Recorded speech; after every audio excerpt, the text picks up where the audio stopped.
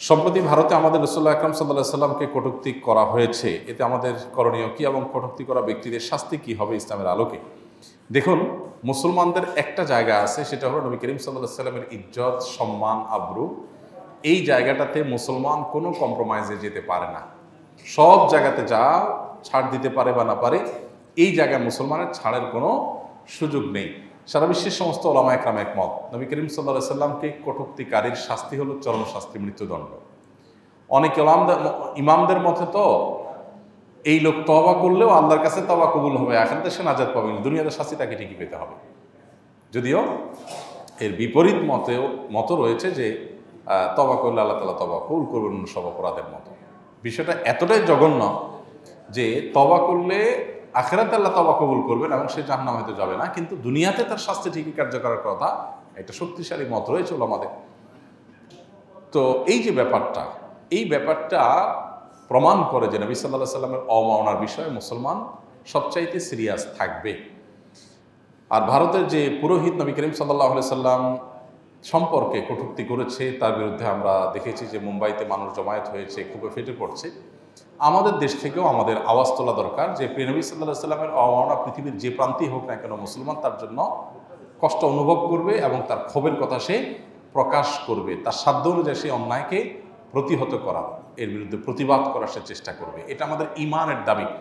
নবী সাল্লাহ সাল্লাম বলেছেন লাই মিনু আহাদুকুম হাত্তা কোনো হাব্বেলেহি মিওয়ালাদিহি ওয়ালাদিহি ওয়ান্নাস আজমাইন।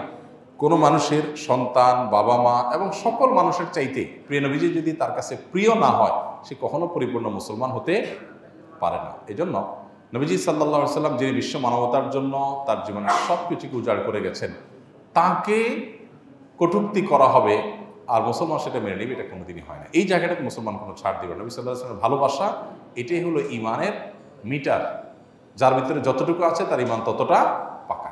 অতএব এই ব্যাপারে আমাদের প্রত্যেককে যার যার জায়গা থেকে প্রতিবাদ চালাতে হবে, সোচ্চার থাকতে হবে। তবে এই জাতীয় কোনো ঘটনা ঘটলে আইন হাতে তুলে নেওয়ার আগে আমাদেরকে ভাবতে হবে যে আইন হাতে তুলে নেওয়ার এই প্রবণতা বা প্রচলন যদি শুরু হয়, তাহলে সমাজে বিশৃঙ্খলা একটা অবস্থা হবে। প্রত্যেকে যার যার মতো জাজমেন্ট করে সে বিচার করা শুরু করে দিবে। এই জন্য এই জায়গাটাতে আমাদেরকে সতর্ক থাকতে হবে এদিকে যাওয়া যাবে না। বিচারিকভাবে এই শাস্তি কার্যকরের জন্য সর্বশক্তি দিয়ে আমাদের চেষ্টা চালাতে হবে, প্রতিবাদ জানাতে হবে। বিশেষ করে ভারতের মুসলমানদের যে আহত হওয়ার ঘটনা এখানে ঘটেছে, এটা ভারতের ইস্যু না। আমরা অনেক সময় মনে করি যে ভারতের ইস্যু, অমুক দেশের ইস্যু, তমুক দেশের ইস্যু, ফিলিস্তিনিদের ইস্যু। গোটা বিশ্বের মুসলমানরা একটি দেহের মতো। কোনো এক জায়গায় যখন আক্রান্ত হবে, অন্যরা কষ্ট অনুভব করবে। এটা মুসলমানদের ইস্যু। আর নবী সাল্লাহ সাল্লাম যেহেতু ভারতীয়দের যে নবী, আমাদেরও সে নবী মোহাম্মদ সাল্লাহ সাল্লাম, ভিন্ন কেউ নন। অতএব পৃথিবীর যে প্রান্তে নবী অবমাননা করা হোক গোটা বিশ্বের সমস্ত মুসলমানদের হৃদয়ে রক্তক্ষরণ হতে হবে। আমার বাবাকে, আমার মাকে যদি কেউ কটু কথা বলে, গালি দেয়, সেটা কোন দেশে দিয়েছে, এটা ম্যাটার করবে না আমার কষ্ট পাওয়ার ক্ষেত্রে। আমার কষ্ট ঠিকই লাগবে যে দেশেই দেওয়া হোক না কেন। বিধায়, এটা ইস্যুটা ভারতীয় মুসলমানদের শুধু না, এটা গোটা বিশ্বের মুসলমানদের ইস্যু। আল্লাহ তালা প্রিয় নবী সাল্লাহ সাল্লামের সম্মান এবং মর্যাদা নিয়ে যারা চিনিমিনি খেলতে চায়, তাদের দৃষ্টান্তমূলক শাস্তি আমাদের দেখে যাওয়ার তৌফিক দান করুন।